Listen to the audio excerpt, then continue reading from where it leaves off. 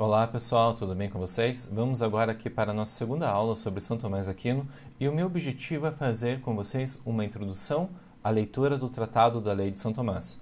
Da mesma forma que no vídeo anterior fiz com vocês uma introdução ao pensamento de São Tomás, é, sem aprofundar em nenhum aspecto, aqui também eu quero fazer uma aula introdutória. Esse conteúdo aqui que eu passarei para vocês em linhas gerais, é, nós poderíamos aprofundar muito, muito mesmo. Né? Não é à toa que existem livros e livros sobre essa doutrina jurídica, essa filosofia do direito do pensamento de São Tomás. Né? É, e não é à toa, dado a complexidade desse texto, que alguns autores modernos e contemporâneos simplesmente ignoraram ou leram errado a Suma de Teologia, né? em especial a parte do Tratado da Lei. Por outro lado, há outros autores vinculados ao que nós chamamos New Natural Law, ou Nova Teoria do Direito Natural, enfim, né, que fazem um resgate do pensamento de São Tomás Aquino, simplesmente com, utilizando, inclusive, o argumento de que ele foi afastado do debate jurídico contemporâneo por conta de uma leitura equivocada, por conta, enfim, de algumas objeções que não procedem em relação ao pensamento de São Tomás. E daí, é, digo a vocês que eu sei que é uma leitura difícil, sei que o primeiro contato com a súmula de teologia não é fácil e eu sei que às vezes a leitura mais simples é fingir que isso aqui não existe. E não é à toa, enfim, que positivistas, autores de peso, é, tiveram leituras equivocadas do pensamento de São Tomás. Né? É, vou citar, por exemplo, Hans Kelsen, que é um autor, um jurista de muito peso, nome conhecidíssimo, e mesmo assim leu errado. Não fez a melhor leitura possível em relação a esse texto que eu começo, enfim, aqui a projetar para vocês agora. Né? É, aqui eu tenho um tratado da lei. Na verdade, esse é o tratado da lei da, da edição brasileira da Loyola. É, foi publicado aqui no Brasil em vários volumes, cada um com esses com centenas de páginas. Esse aqui tem 900 páginas, o volume 4. E é um texto bem longo, bem complexo. E o determinante dessa edição da Loyola, que considero uma das melhores em português, né, tem essa aqui, a edição e uma tradução do Alexandre Correia, é que a vantagem dessa é que ela é versão bilíngue. Tem aqui do lado esquerdo o texto em latim e do lado direito aqui o texto em português. É, uma coisa que é interessante é que às vezes essa tradução comete alguns erros grosseiros, né? É, e daí por isso que é interessante, caso vocês sintam alguma estranheza, alguma coisa assim que talvez não foi não é a melhor tradução, dá uma conferida num texto em latim e mesmo sem saber latim, o que, que você pode fazer? Pode ver a palavra correspondente, aquilo que você acha que não é a melhor tradução e pesquisa num, num, num dicionário do latim ou até mesmo no Google ali e tal, vai dar algumas outras, alguns outros significados mais precisos, né? A do Alexandre Corrêa também é uma tradução muito boa. É, ele, enfim, tem toda uma obra dentro do direito natural e é por isso que ele faz uma leitura muito aprofundada em relação a essa questão. Para fins de trabalho e de explicação, é, essa leitura aqui serve, e serve muito bem, serve muito bem ao propósito. Né? E uma vantagem dela é que, por vezes, é, os, os tradutores são também comentadores e fazem aqui alguns, algumas ponderações bem simples que vão enriquecer o texto. Né? Mas, idealmente, enfim, por óbvio, é, só que não é o nosso objetivo aqui, a melhor forma de ler a Suma é, Teológica é justamente em latim. Mas isso é um idioma pouco acessível e é por isso, enfim, que vamos ficar aqui com a versão traduzida. As traduções em inglês da Suma te, é, Teológica também são muito boas. E existem alguns autores que fazem é, versões comentadas de algumas partes. Né? O Tratado da Lei, enfim, existem alguns livros que alguns juristas de peso é, se dedicam a comentar. Né?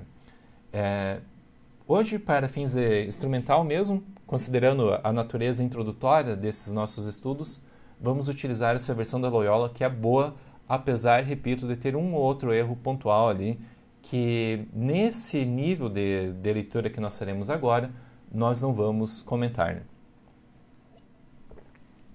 A, a Suma de Teologia ela pode ser estudada de duas formas diferentes. Né? Duas grandes formas, enfim, que os tomistas é, se dividem enquanto leitura. Tem uma forma que eu vou chamar que é mais clássica, como propriamente os escolásticos faziam, né? É, de forma de ler, né? Que, enfim, diante de, de uma per pergunta, a estrutura da soma é a seguinte, né? Ela começa com uma questão, tem aqui, por exemplo, a questão 90, E essa questão traz algumas perguntas em si. Depois, cada, cada uma dessa, dessas perguntas vai ocupar um artigo. Um artigo é como se fosse um tópico da suma. É a unidade básica ali que a gente tem que começar. Né?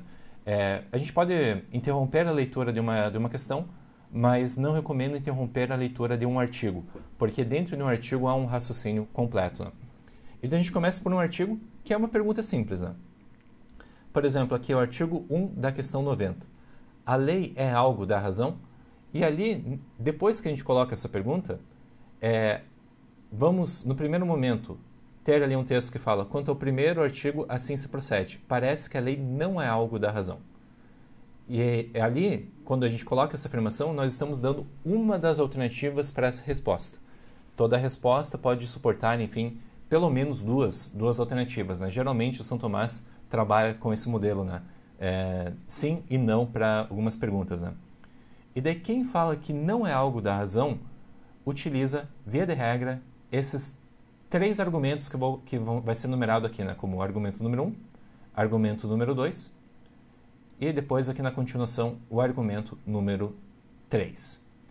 No segundo momento, a São Tomás aparece a resposta em sentido contrário vai, vai falar, enfim, tá, mas se a lei é algo da razão, o que, que a gente pode falar, né? Em sentido contrário, também em latim a gente vai encontrar como sede contra, é, daí ele coloca o texto ali correspondente, né?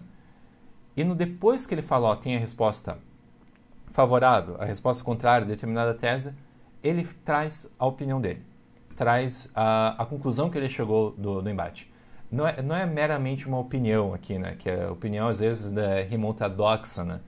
é, no sentido assim bem senso comum. Não, aqui é a conclusão lógica racional que ele defende. É a posição que ele defende. E depois que ele apresenta a resposta dele, segue-se as respostas às objeções é, da tese que ele discordou. Quando ele fala quanto ao primeiro, ele está respondendo, aqui voltando na página, ao primeiro argumento que, ele, que foi colocado falando que a lei não é algo da razão.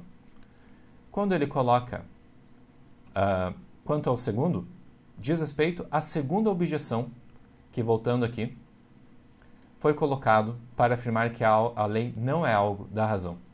Quanto ao ter, é, depois aqui eu tenho essa terceira objeção, que num segundo momento, enfim, depois que ele apresentou o sede contra, a opinião contrária e a conclusão dele, ele vai falar por que abandonou o, a terceira opinião, a terceira proposição. Aqui, na verdade, nós temos uma estrutura extremamente rigorosa de argumentação.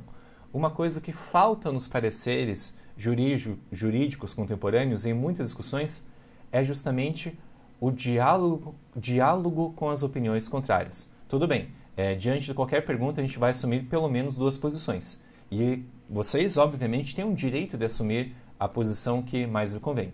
Só que uma coisa que vai diferenciar é, um, sei lá, uma gritaria, uma histeria, de uma discussão racional é justamente o diálogo com as oposições contrárias.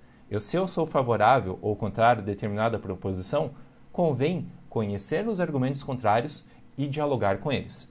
Aqui, essa estrutura da Suma Teológica é extremamente rigorosa é, e segue aqui vários preceitos de, de uma argumentação racional justamente por isso.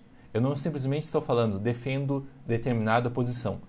São Tomás, questão por questão, artigo por artigo, vai explicar por que a opinião contrária dele não procede. Vai ter argumentos para isso. Se ele não tiver argumentos para isso, seria o caso de ceder, né? Seria o caso ali de ceder a, a argumentação e falar, olha, o objetor tem razão. Em alguns momentos ele faz isso. Em alguns momentos, até na, no texto, ele, ele fala que o objetor tem razão e tenta ali fazer alguma composição das respostas. Mas o que vai diferenciar é um trabalho jurídico mediano ou no máximo bom de um excepcional é justamente esse diálogo com, com as opiniões contrárias. Às vezes o jurista, enfim, o advogado, quando faz uma petição, é, ou até o que é complicado, né, às vezes um, uma decisão judicial só faz uma argumentação unilateral. É teoricamente possível fazer isso, a prática forense aceita, mas o que vai diferenciar esse trabalho de um trabalho que pode ir para outro nível é justamente falar, tá, mas quem pensa o seguinte, argumenta X, Y, Z, e esses argumentos são errados por conta desses fundamentos. E aqui nós já aprendemos uma lição fundamental dentro de São Tomás. Pois bem, nós temos essa estrutura então aqui das questões. Uma questão, que é uma pergunta, é opiniões contrárias, opiniões a favor, a resposta que São Tomás adota e depois as razões pelas quais ele abandona determinada resposta. E nesse ponto, há duas formas de nós lermos esse texto. Vai ter uma forma mais clássica, por assim dizer, é, que os, na, no ensino das, da medieval era adotado, em que nós começávamos a ler pelas objeções, é, levantando, enfim, as opiniões contrárias. Daí, assim, se a gente pega uma, uma suma de teologia comentada, geralmente o pessoal vai começar a explicação da questão, enfim, a questão aqui, a lei é algo da razão, vai ler a pergunta, a, a objeção 1, e depois a resposta à objeção. Depois, eles voltam para a questão 2 e vão ler a resposta da, da objeção 2. Né? Eu falei questão 2, não, é a objeção 2. Depois vão ler o que? A objeção 3 e a resposta à objeção 3 e depois a posição do, do autor, né? o contra é, e, a, e o respondo, que é a posição do autor. Essa é a ordem mais lógica e mais rigorosa para nós fazermos um estudo aprofundado da Suma de Teologia. Por outro lado, entendo que não é a leitura mais didática que nós podemos fazer. E, e uma outra forma de ler, lembrando, não é propriamente uma forma certa ou errada, é, a primeira forma que eu expliquei, né, que começa pelas objeções, é uma forma mais própria do estilo medieval, do, do ensino medieval. Uma forma mais didática para nós compreendermos com maior clareza o pensamento do autor é começar pelo respondo, pela opinião do São Tomás, e depois a gente vai nas objeções, nas opiniões que ele abandona. É, geralmente, a gente faz o contrário por quê? Porque a gente só responde, só formula a própria opinião depois que a gente conhece as opiniões contrárias. E essa é uma forma extremamente racional de proceder. Né? Se você está estudando uma coisa nova, antes de formar o seu juízo a respeito daquilo, conheça as posições. E é por isso que no ensino clássico, no ensino, enfim, é, mais tradicional, essa é a ordem mais correta. Por outro lado, considerando aqui que o nosso objetivo é uma introdução ao pensamento de São Tomás, a ordem mais fácil de cumprir esse objetivo é justamente começar pelo respondo. Vamos ver o que ele pensa e conferir mais peso ao que ele pensa. E daí depois a gente vai para, os, para as objeções, enfim, que ele acaba abandonando. É, e daí o que acontece? Quando a gente pega o texto, manipula o texto, e eu sei que PDF, assim, às vezes é um pouquinho confuso, tem que ficar subindo, descendo, mas vamos fazendo isso. O que a gente precisa ficar sempre fazendo é um Alt Tab. É, ler o texto do artigo 1, uh, ler Uh, sede contra, eu respondo. Depois, objeção 1, resposta objeção 1. Objeção 2, resposta objeção 2. E assim vai. É um pouquinho... É uma leitura que você não vai ler de forma linear. É uma leitura que você tem que ficar fazendo esse alt tab, né? E temos que considerar também uma outra coisa importante, e acaba sendo um erro comum do iniciante no pensamento de São Tomás, é considerar essas opiniões contrárias como se fossem a dele. Um leitor desavisado da Súmula de Teologia, e isso pega muito feio em qualquer trabalho acadêmico, é, pega esse texto aqui, que é das objeções, da opinião que Santo Tomás discorda, e coloca como se fosse a posição dele. É, já vi, enfim, alguns textos acadêmicos, em algumas bancas, enfim, que tive a oportunidade de avaliar, que o sujeito cometia esse erro é, infantil aqui, né, de pegar a opinião que São Tomás discorda e colocar na boca dele. Daí isso aqui é um, é um erro é, enfim, imperdoável, mas a gente entende que, que é um texto difícil. A estrutura do texto, a Súmula de Teologia, é uma estrutura difícil. Né? É, mas, pois, bem, feitas essas considerações introdutórias, vamos começar agora a fazer o estudo do Tratado da Lei de São Tomás. Pelo menos uma introdução, pelo menos uma apresentação da, da estrutura dele. Né? E eu não vou comentar questão por questão nesse vídeo, mas eu quero fazer um panorama, é, gastando aqui alguns minutos para vocês terem uma ideia de alguns aspectos do que ele vai falar para nós. É, primeiro ponto que chama atenção é que ele é um justnaturalista, um partidário do chamado direito natural, que enfim vai ser é, receber várias críticas dos chamados positivistas jurídicos, né? É, as objeções que os positivistas fazem em relação à lei natural servem para vários autores, em especial os modernos. Claro, os positivistas não leram de forma adequada ao pensamento de São Tomás Aquino. E todos os argumentos que são levantados contra o direito natural, em especial três, né, o argumento da falácia naturalista, o argumento do dualismo e o argumento do relativismo, vão servir muito bem para Hobbes, para Locke, para Grossio, mas não servem para São Tomás. É, as objeções céticas à lei natural não atingem essa, esse, esse teórico. Né? As razões mais aprofundadas para isso a gente vai encontrar na obra de juristas contemporâneos, John Finnes, Robert George e também o Germain Griset, que são adeptos do que nós podemos chamar de New Natural Law. É, e de assim, falar que a teoria do direito natural é superada é, denota uma falta de compreensão desses, desses teóricos. Né? E, e por muitos séculos, a filosofia do direito foi pensada dessa forma.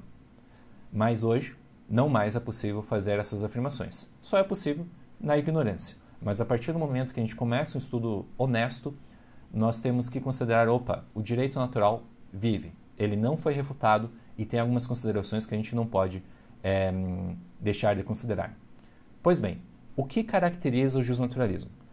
É, em vídeos diferentes, outros vídeos aqui do canal, eu mencionei que o positivismo jurídico busca compreender o direito único e exclusivamente a partir de sua estrutura lógica, da sua estrutura formal. O que diferencia o positivismo de outras teorias é que outras teorias vão acrescentar uma camada axiológica, vão é, ampliar a compreensão do direito, falando ó, o direito não é apenas forma, é também valores. E dentro dessa forma de pensar, que vão considerar que o direito deve ser pensado a partir de valores, para ter justiça, para ter correção, nós vamos encontrar várias teorias. Os pós-positivistas, positivistas, por exemplo, um Dworkin, um Alexis, eles não negam essa dimensão valorativa do direito.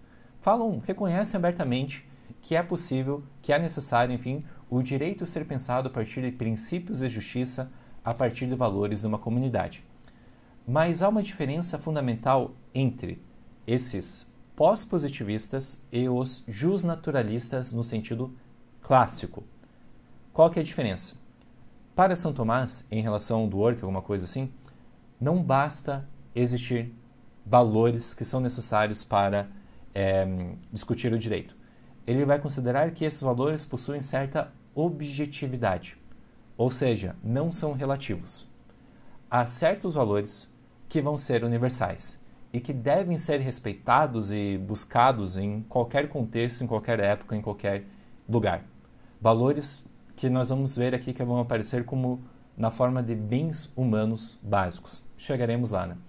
E daí, portanto, o que vai diferenciar um justnaturalista de um positivista é a defesa de que o direito deve ser pensado em relação também à moral, e uma moral objetiva. O que vai diferenciar um justnaturalista de um teórico pós-positivista que também abraça os valores é que no direito natural nós temos a defesa de que há valores, de que existem valores objetivos. Valores, enfim, ali que vão ser universais. Ao contrário de alguns autores pós-positivistas que vão abraçar ali uma premissa mais relativista, né? Falando que os valores são questões de construção social tal, e por isso vão ser variáveis conforme o tempo e espaço. Por óbvio, não é essa posição que nós vamos estudar. É, já falei demais a respeito de, introdução, de estrutura da Suma. Vamos começar a leitura dela agora. Né? Lembrando que vou optar pela ordem mais didática, né? que é colocando o respondo primeiro e também vou abandonar algumas questões aqui para que a gente possa ver o macro desse pensamento. E um dia, quem sabe, eu quero fazer ali é, vários vídeos comentando questão por questão, objeção por objeção, o pensamento de São Tomás Aquino. Né? Isso levaria cerca de umas 15 horas para ser feito, e o que nós não vamos fazer agora, por óbvio. Né? Mas vamos ver como que é, surge, é, a gente desenvolve essa primeira introdução. Pois bem, questão 90, a essência da lei. É, quando nós falamos de essência, nós estamos investigando ah, elementos suficientes e necessários para dizer o que uma coisa é e o que ela não é. Aqui nós vamos querer diferenciar a lei de outras coisas. É, e essa investigação da essência de algum objeto às vezes não tem sentido para muitos positivistas jurídicos, né? É, mas aqui em São Tomás eu quero ver quais são as causas determinantes que compõem aquele objeto.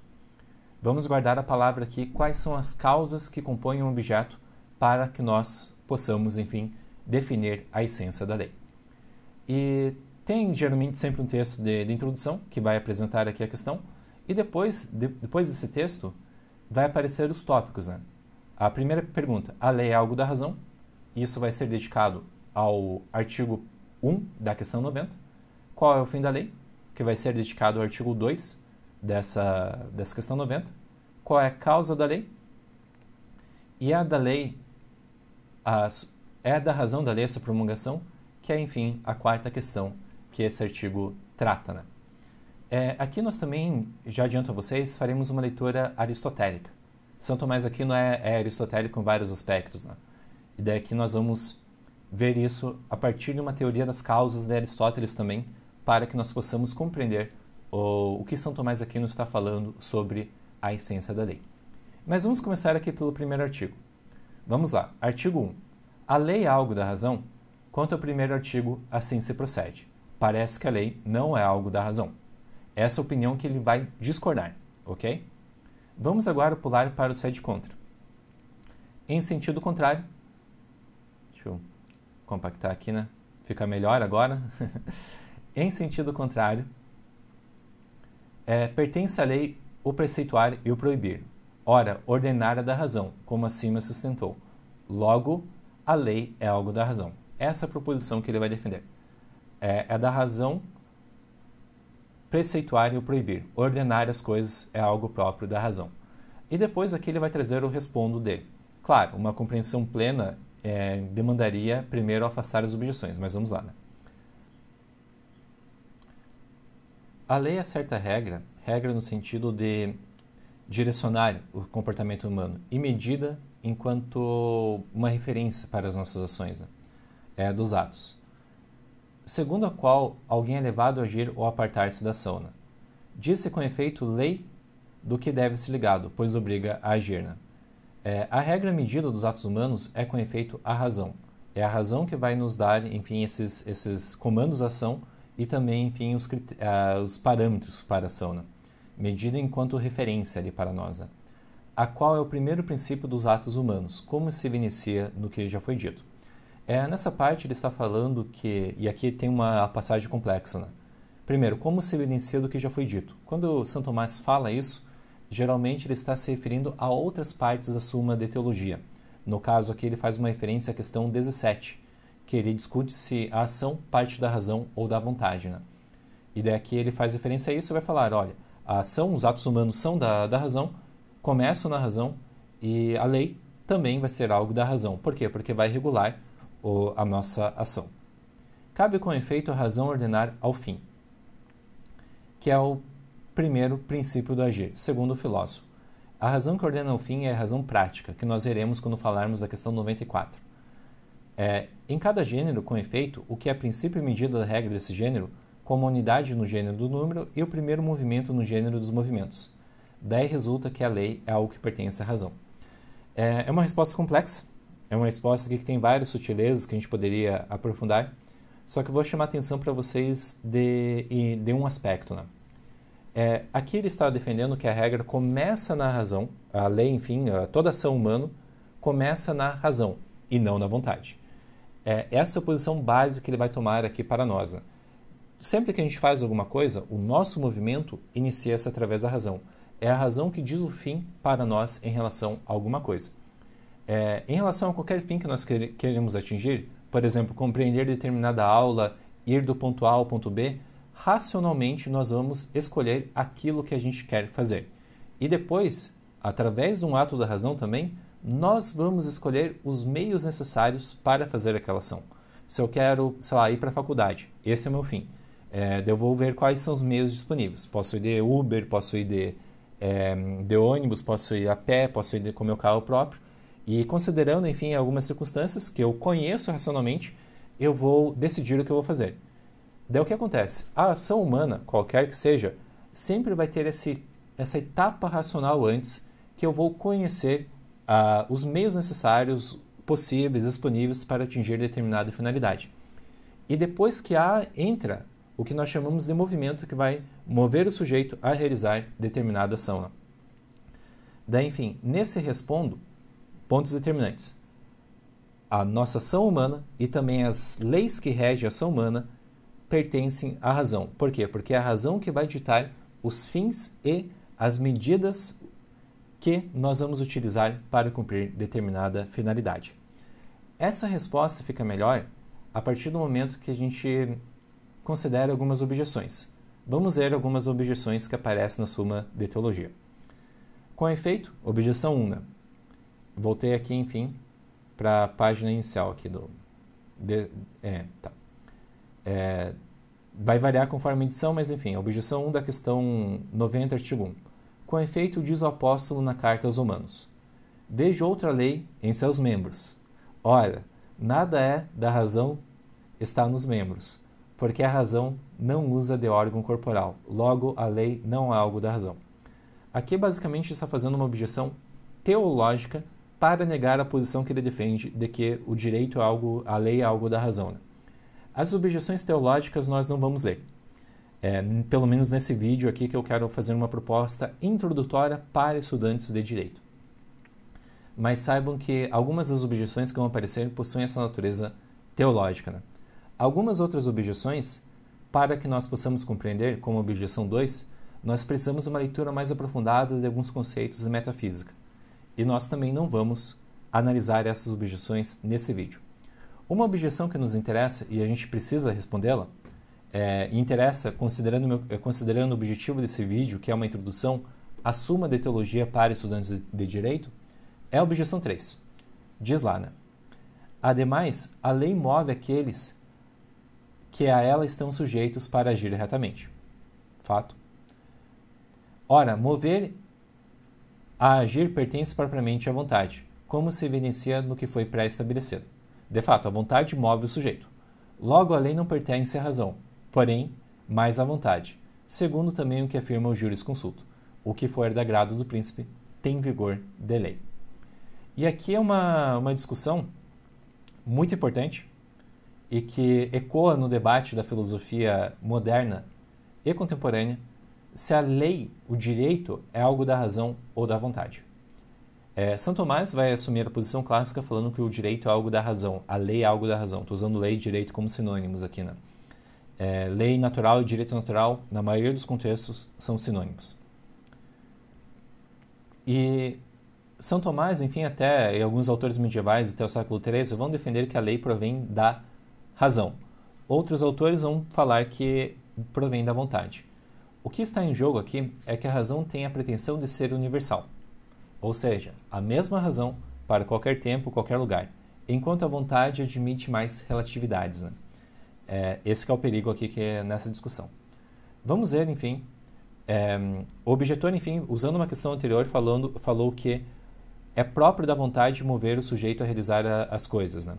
Logo, a ação que é regida pela lei seria proveniente, a, ação que é regida pela lei tornaria a lei algo como proveniente da vontade. Por quê? Porque é a vontade que move as pessoas.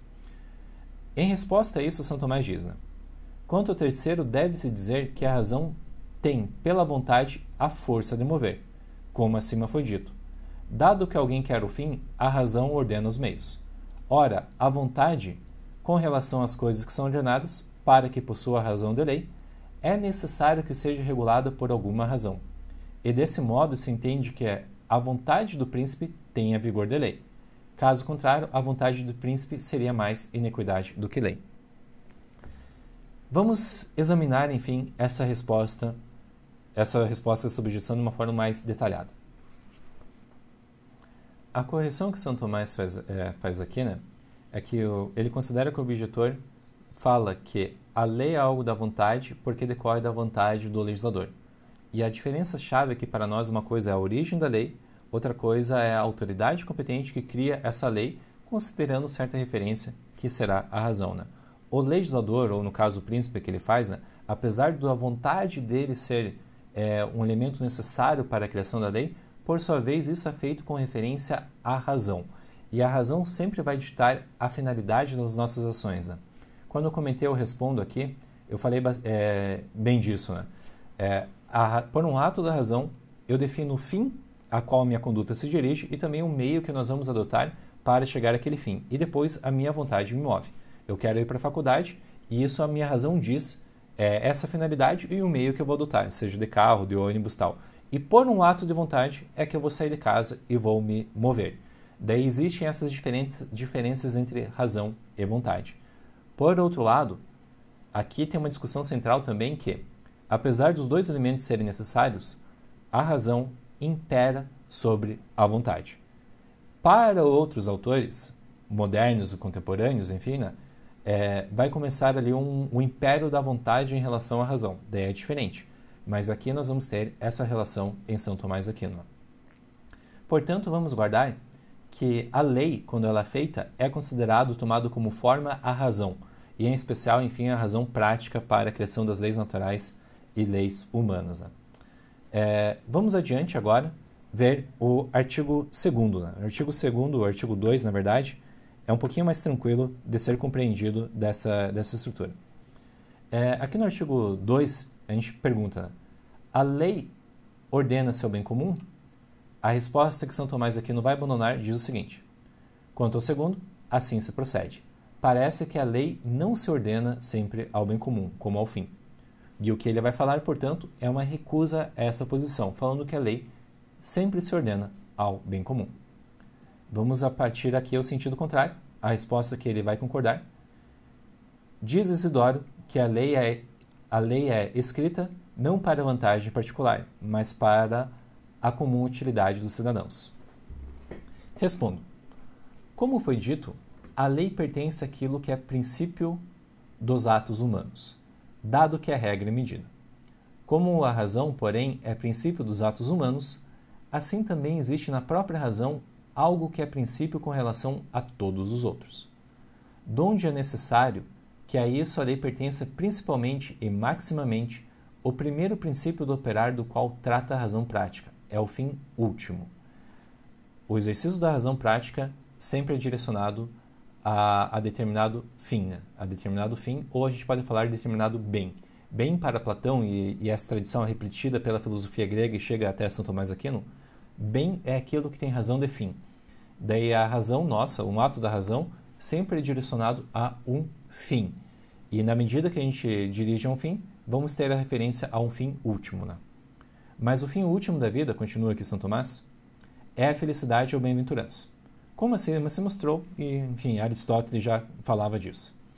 Portanto, é necessário que a lei vise maximamente a ordem que é para a bem-aventurança. Por outro lado, como toda parte se ordena ao todo como o imperfeito ao perfeito, e cada homem é parte da comunidade perfeita, é necessário que a lei propriamente vise a ordem para a felicidade comum. Aqui ele está defendendo que, por mais que determinadas leis visem bens particulares, isso acaba sendo um meio necessário para nós chegarmos a uma ordem comum que é necessária para que nós possamos realizar nosso fim último, que é a felicidade.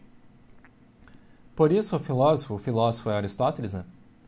é, na anteposta definição do legal, faz menção tanto da felicidade quanto da comunhão política, até que a comunhão política é uma condição necessária para que nós possamos ser felizes. Diz com efeito no livro 5 da Ética: Dizemos justas as disposições legais que fazem e conservem a felicidade e a parte dessas, na comunicação política. A parte perfeita, a perfeita comunidade com efeito é a cidade, como se diz no livro 1 da política. Bem, para sermos felizes precisamos de algumas condições, né? tipo um agir virtuoso, é, um pouquinho de sorte é, e também uma comunidade política, né? isso a partir de, de, Aristóteles. E quando ele diz que cita Aristóteles, especial o livro 5 aqui de, dele, da Ética Nicômaco, há referência a uma passagem que ele fala que o direito, as leis, enfim, é, as boas leis, na verdade, porque pode haver desvios disso, vão estar harmônicas com o que ele chama de justiça natural e vão orientar os homens na, na realização de condutas virtuosas. Na medida que as pessoas têm condutas virtuosas, elas se encaminham para a realização de bens. Bens, obviamente, no primeiro momento, de uma perspectiva individual.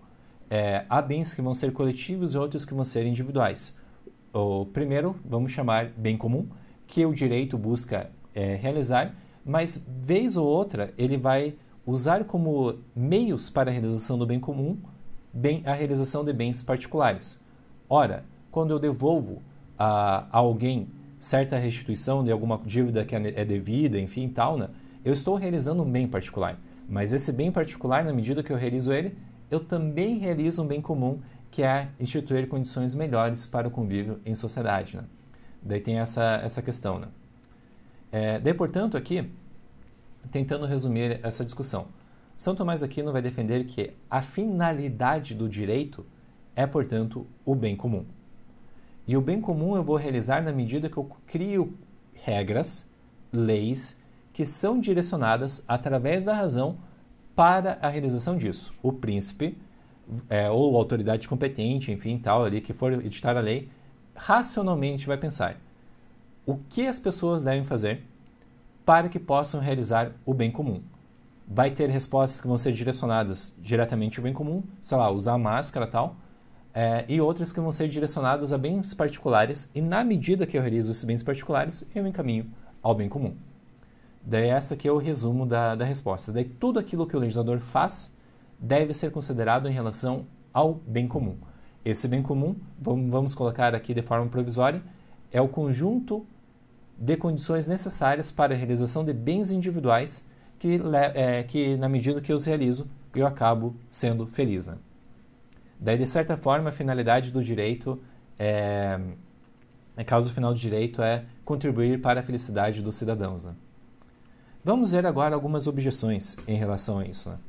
A essa resposta a, a, que o direito se ordena ao bem comum, que a lei é ordenada ao bem comum. Né? Vamos ver aqui quem fala que o direito não é orientado ao bem comum. A primeira objeção diz: com efeito, pertence à lei preceituária proibir.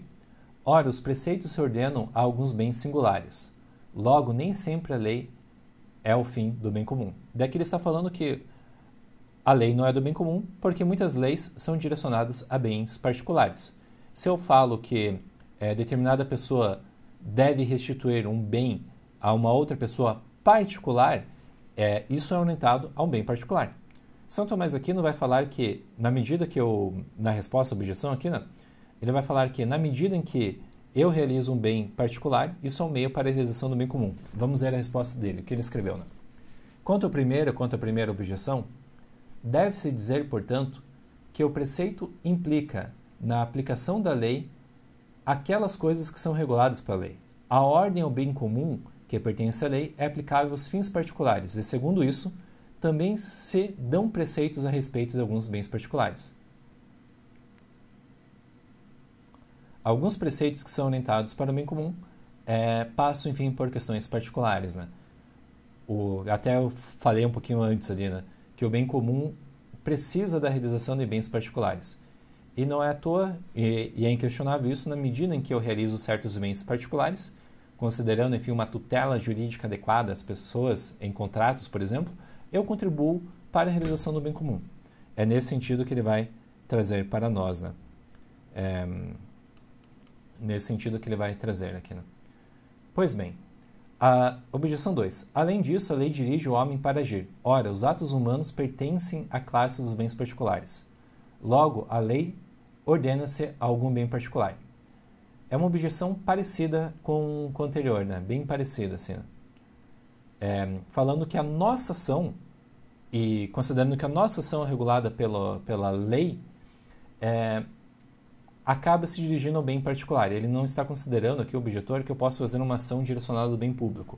Por exemplo, se eu faço uma ação popular é, sem considerar, sem visar nenhum lucro pessoal, né? simplesmente buscando uma maior moralidade administrativa. Né?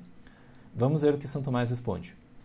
Quanto ao segundo, deve-se dizer que as ações são certamente da ordem do particular, mas aqueles particulares podem se referir ao bem comum, ou seja, uma ação particular pode ser orientada ao bem comum. Não certamente pela comunidade do gênero ou da espécie, mas pela comunidade da causa final. Aqui entra o conceito de tele teleologia, é, que Aristóteles já desenvolveu. Né? que às vezes eu faço uma ação direcionada a um bem específico, mas essa ação, na verdade, é o um meio para um fim maior.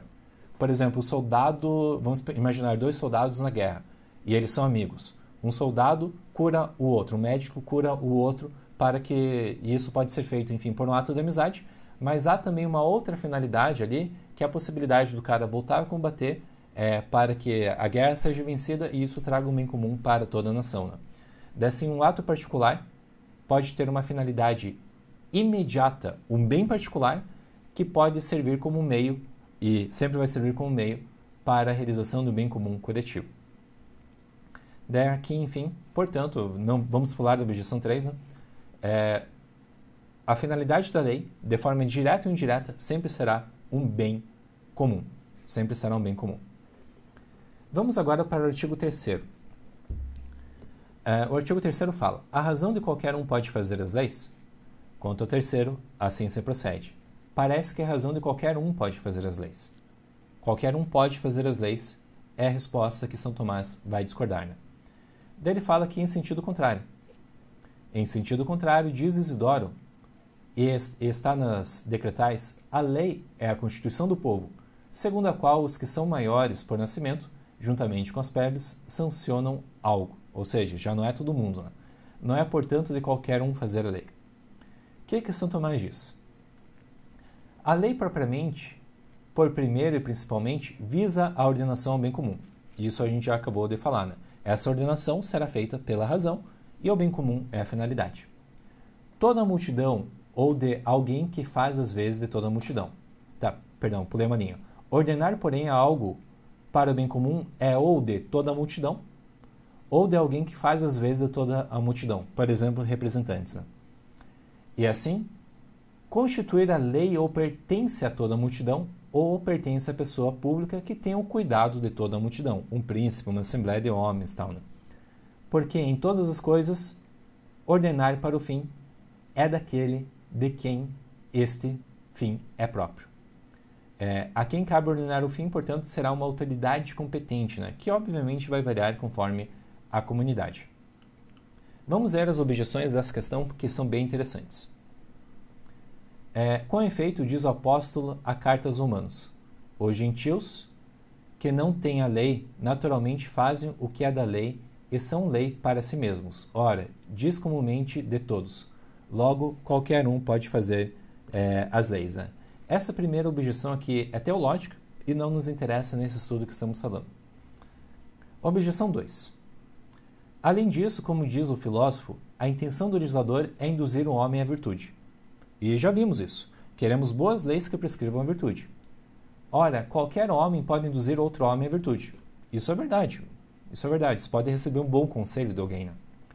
Logo, a razão de qualquer homem pode fazer leis. Essa conclusão aqui é tanto forte. Né? Vamos ver o que São Tomás fala quanto ao segundo. Né? Quanto ao segundo, deve-se dizer que a pessoa privada não pode induzir eficazmente a virtude. Pode, com efeito, somente admoestar mais. Se sua admoestação não é recebida, não tem força coativa, que a lei deve ter, para que eficazmente induza a virtude, como diz o filósofo. Tal virtude coativa tem a multidão a pessoa pública, a qual pertence infringir leis, como se dirá abaixo, e assim é apenas dela fazer as leis. É, a diferença básica entre uma lei e um conselho é a questão da coação. É, claro, uma pessoa virtuosa, quando a gente recebe um conselho, naturalmente vai seguir aquilo. Porém, é, um conselho não tem a mesma eficácia que a lei. Uma coisa eu falar é, querido, se for sair em público, use máscara. E a gente pode, eu posso te dar várias razões é, em termos de moral, em termos de saúde pública, para você fazer isso. E, mas por vezes esse conselho não vai ter a mesma força do que se eu falar, se você sair sem máscara, você vai ser punido, vai ser multado. E de fato ali tem uma autoridade competente para coagir, para colocar aquela pessoa que está com comportamento desviante na medida. E assim, de fato, a lei e bons conselhos, ambos vão induzir o quê? Comportamentos virtuosos. Só que um vai depender da boa vontade da, da pessoa que recebe o conselho. Outro, se eu coloco uma lei, ela não depende disso. Outro vai ter a coação e com isso ela é mais eficaz. E daí o que acontece? Como nem todo mundo consegue ter essa mesma eficácia coativa, então não é a razão de qualquer um que pode criar lei, apenas de uma autoridade competente.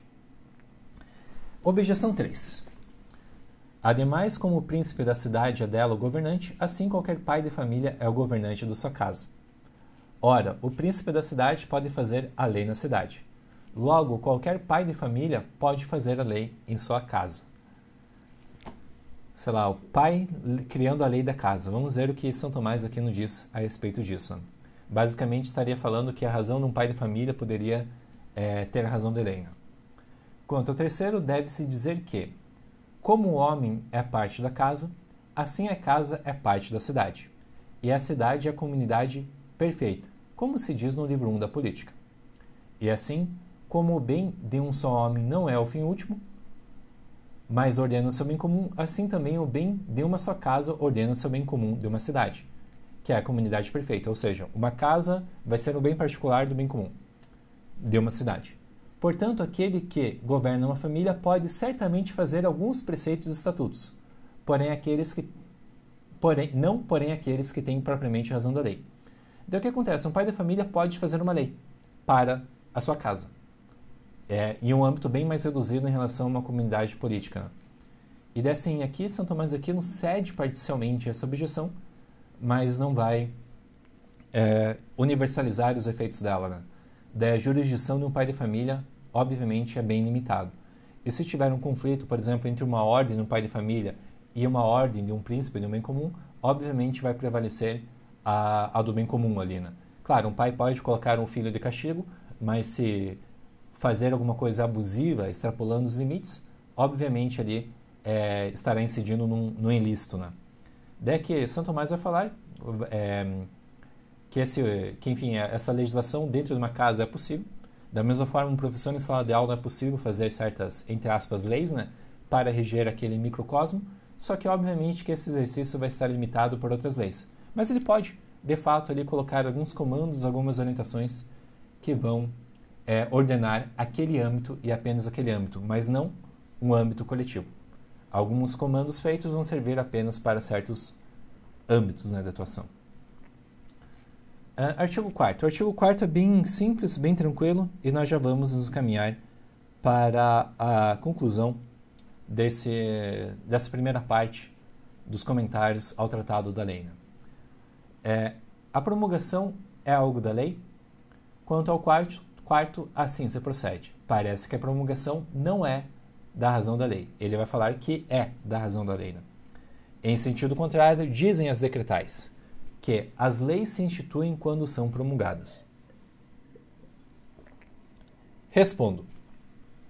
Como foi dito, a lei se impõe a outros por modo de regra de medida. E a regra e medida se impõe enquanto se aplicam naquelas coisas que são reguladas e medidas. Donde, para que a lei obtenha a força de obrigar, que é dela própria, é necessário que se aplique aos homens que, segundo ela, devem ser regulados, Tal aplicação se faz enquanto é levado ao conhecimento deles pela promulgação. Promulgação é o ato de tornar público determinada determinada comando normativo. Né? Em teoria do direito, em direito constitucional, a gente tem um, uma semântica um pouquinho mais precisa, mas é, nesse contexto cabe essa ideia de tornar público. Né? Não basta o príncipe ter uma vontade, ser autoridade competente é, e ter um comando que vise ao bem comum. Ele deve levar esse comando ao conhecimento de todos pelos procedimentos cabíveis. Né? Portanto, a promulgação é necessária para que a lei tenha força.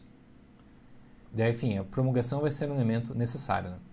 Aqui ele vai, na sequência, nesse próximo parágrafo, ele vai dar a definição da lei dele, concluindo a questão 90. É, antes disso, a gente pode passar pelas objeções para ver, enfim, por que ele acaba abandonando a resposta que a lei não precisa ser promulgada. Vamos lá, objeção 1. Com efeito, a lei natural tem ao máximo razão de lei. Ora, a lei natural não necessita de promulgação. Nós vamos discutir isso na questão 94. Logo, não é da razão da lei que ela seja promulgada. São Tomás responde: Quanto ao primeiro, deve-se dizer, portanto, que a promulgação da lei natural é pelo fato mesmo que Deus a inseriu nas mentes dos homens, para ser conhecida naturalmente. É, aqui a gente já começa a discutir uma questão que segue na próxima questão, né? vários tipos de lei.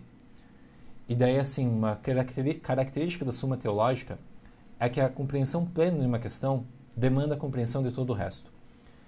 E São Tomás vai falar de quatro tipos de lei: lei divina, lei humana, lei natural, lei eterna. E cada uma vai ter uma forma de promulgação diferente. E daí que, enfim, a forma de promulgação da lei natural não é através de um ato de publicação é, equivalente a de uma lei humana. Vai ser bem diferente. Né? Objeção 2. Além disso, pertence à lei propriamente obrigar e fazer a fazer algo ou não fazer. Ora, não apenas são obrigados a cumprir a, leis, a lei aqueles em presença dos quais ela é promulgada, mas também os outros. Logo, a promulgação não é da razão da lei. Ora, não são obrigados a cumprir a lei aqueles em que a presença dos quais ela é promulgada, mas também os outros. Tá, eu não preciso estar presente no ato de promulgação para que a lei torne-se obrigatória. Né?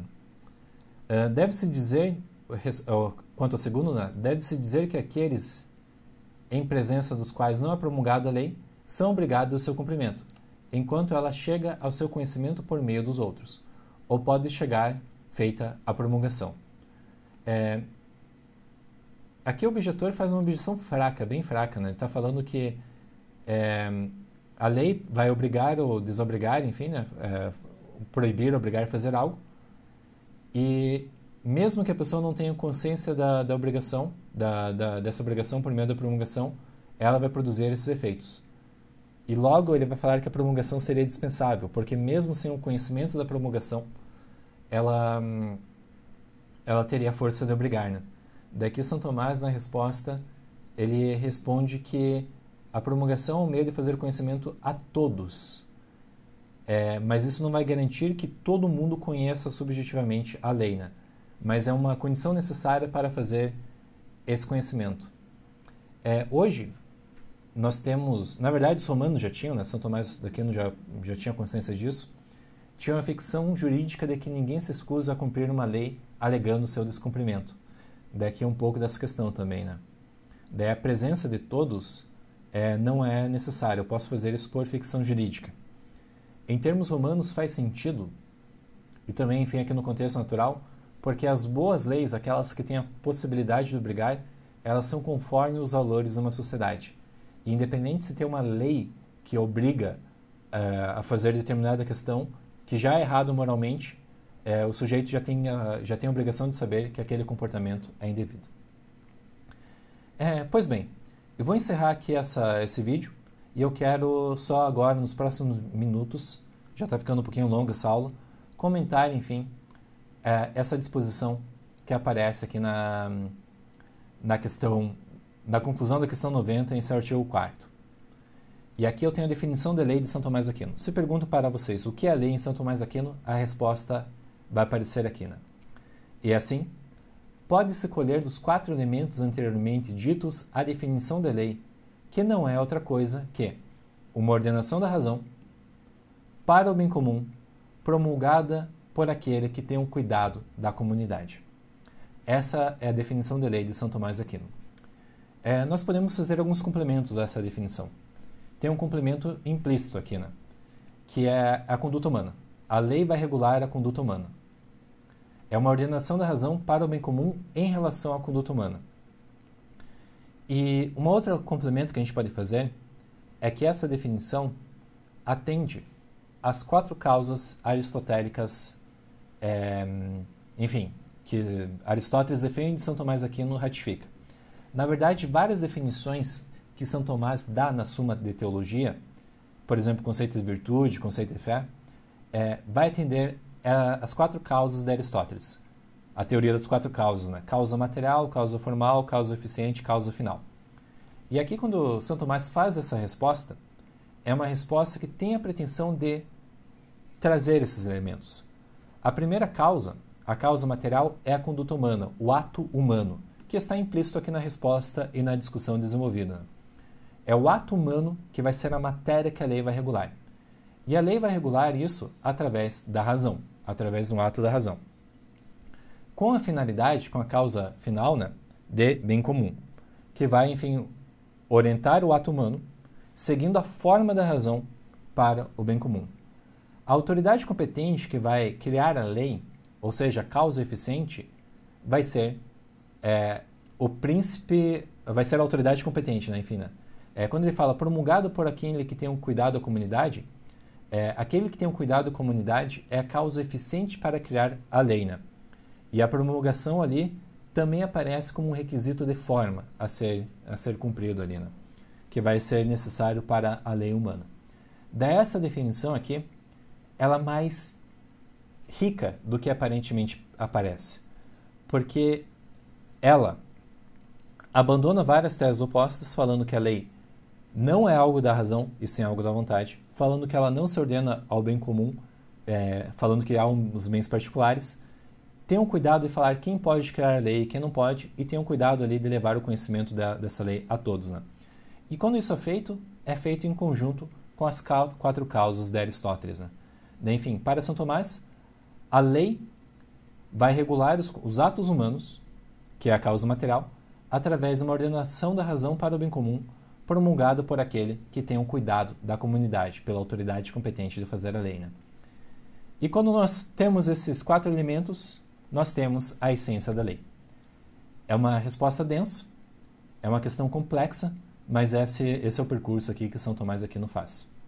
É, eu vou inserir uma parte nesses comentários uh, introdutórios à Suma de Teologia, e na próxima parte eu vou comentar brevemente cada uma das questões subsequentes, né? cada uma das sete questões que faltam para nós. Né? Beleza? Pessoal, então, inserir uma parte aqui. Até o próximo vídeo.